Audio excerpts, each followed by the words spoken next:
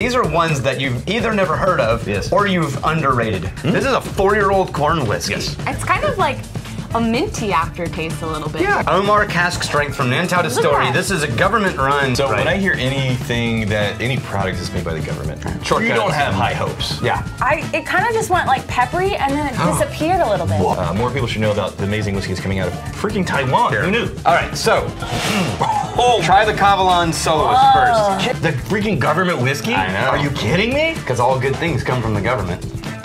Nobody knows that. Don't you ever say that. Chocolate rye, There's definitely, especially in the craft side of rye, really dark chocolate covered espresso beans. I was just Oh, gonna say yes, espresso yeah. beans. Okay. Why I make the mm. big bucks? this is Few, F-E-W, Few Spirits. Uh, I know a few of these guys.